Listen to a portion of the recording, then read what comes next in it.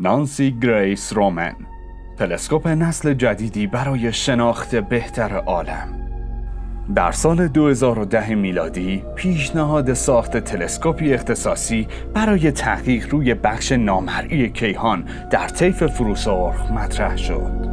ابتدا این تلسکوپ با نام تلسکوپ نقشه بردار میدان باز فروسرخ یا Wide Field Infrared Survey Telescope یا به اختصار WFIRST خوانده شد.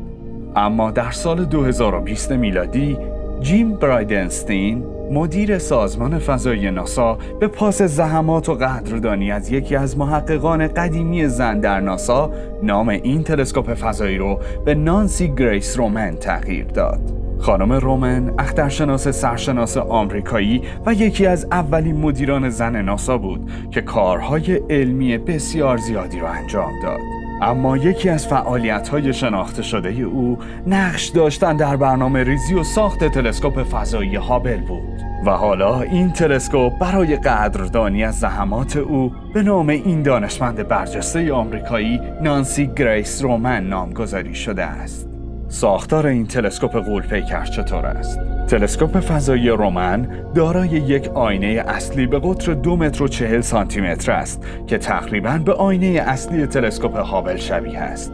اما تفاوت در اینجاست. آینه رومن و هابل در نوع خود متفاوت هستند. این آینه با یک لایه نازکی از نقره پوشیده شده تا بتواند به خوبی در تابش نور فروسرخ فعالیت کند. همچنین زخامت آینه تلسکوپ رومن کمتر از 400 نانومتره که این از قطر یک تار موی انسان هم 200 برابر نازکتره. تلسکوپ فضایی رومن قرار است در طیف فروسرخ فعالیت کند.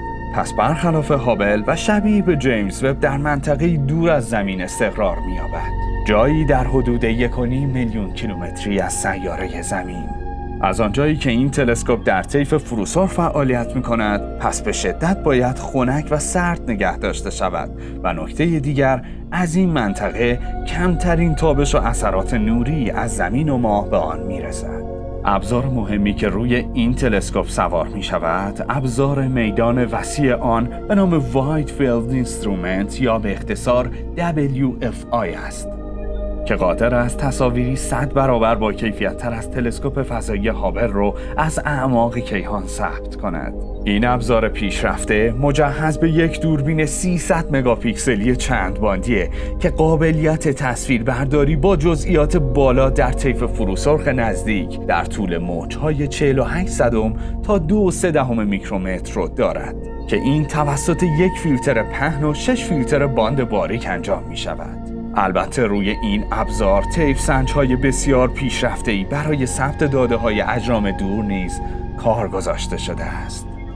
ابزار مهم دیگر تلسکوپ رومن تاج نگار Coronagraph Instrument یا CGI است که به اخترشناسان اجازه می دهد مستقیما از سیارات در مدار اطراف ستاره های دیگر با کاهش چشمگیر ستاره میزبان بدون هیچ مشکلی تصویر برداری کنند. این تاجنگار پیشرفته بسیار قوی تر از تمامی تاجنگارهایی که تاکنون از اونها استفاده شده و قادر به دیدن سیاراتی در دست هاست که تقریبا یک میلیارد بار کوچکتر از ستاره مادر خود هستند.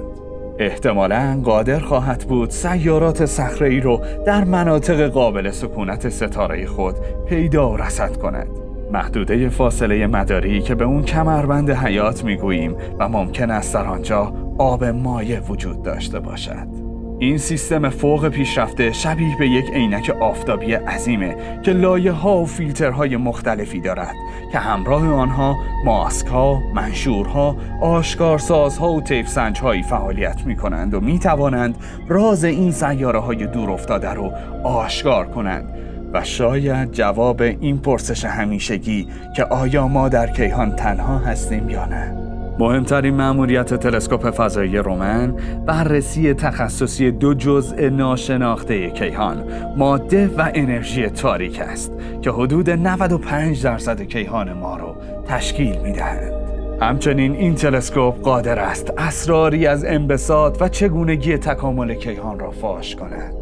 و البته همانطور که گفته شد با داشتن ابزار تخصصی CGI نیز دورترین سیارات فراخورشیدی شبیه به زمین را در کهکشان راه شیری شناسایی و بررسی خواهد کرد. تلسکوپ فضایی رومن با همکاری مرکز فضایی گودارد ناسا، آزمایشگاه پیشرانش جت، مؤسسه فناوری کالیفرنیا، مؤسسه علوم تلسکوپ فضایی و تیم علمی از پژوهشگران مدیریت می شود که احتمالا سایر سازمان های فضایی جهان نیز به این پروژه ملحق شوند. در حالی که خانم نانسی گریس رومن سال هاست که از این دنیا چشم فرو بسته اما اکنون تلسکوپی به نام او قرار است راه و اندیشه هایش را تا سالها در اعماق فضا کاوش و اسرار کیهان را آشکار کند. طبق گفته سازمان فضای آمریکا ناسا احتمالاً تا ماه می 2027 میلادی این تلسکوپ به فضا پرتاب شود.